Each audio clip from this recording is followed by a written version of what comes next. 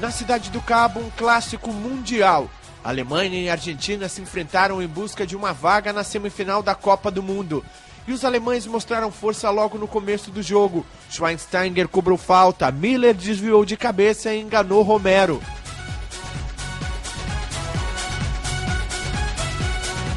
A Argentina tentou reagir com Higuaín, mas o chute saiu fraco.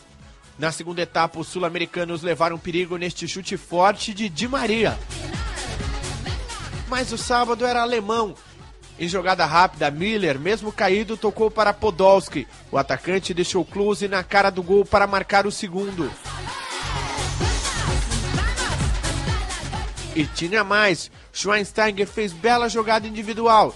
Foi avançando, entrou na área e tocou para Friedrich marcar o terceiro.